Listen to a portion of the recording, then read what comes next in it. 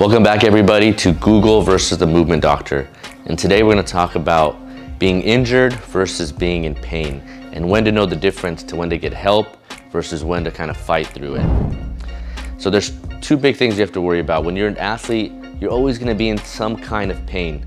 But when you're injured, that's when it becomes a little bit more serious. No one's ever gonna be pain-free.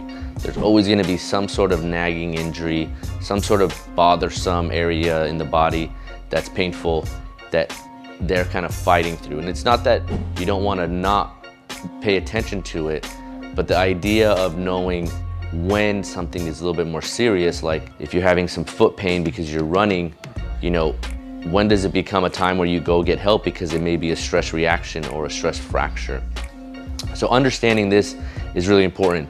Now I'll tell you this, with the foot specifically, whenever there's an injury going on there or pain, significant pain that hurts every time you step or run, you should go see the doctor, go get an MRI because usually that'll be something related back to a stress reaction, which then can lead to a stress fracture.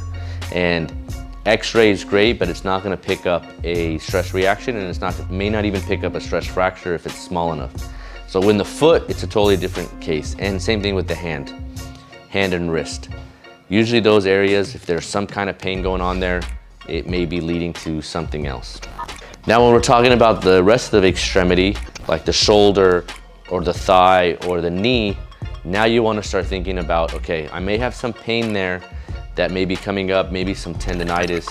So if it's a specific type of injury that you know there's a mechanism of injury. Now this is the big thing. If there's a mechanism of injury, like you got hit or you twisted and you felt a pop, that's a true injury. You know, other times when it's chronic and it, you, you don't remember anything specific happening, that may be something that's a little bit more painful, more tendonitis-like, but an injury is kind of like a ligament damage, a muscle tear, you know, um, something that is more specific to where you feel something happen at a specific moment in time and you never felt that before. That's when you need to definitely get some help.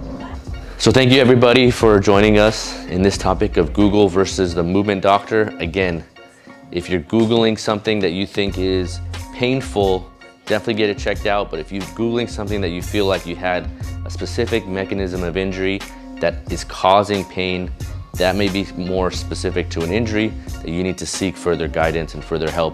Maybe some imaging needs to be done, um, but you should always look into, into that some more. Talk to a health professional, your physical therapist, your friend that's in the medical field, or a physician that you know, just to make sure that nothing more serious is happening. So thank you again for joining us. We hope to see you next time.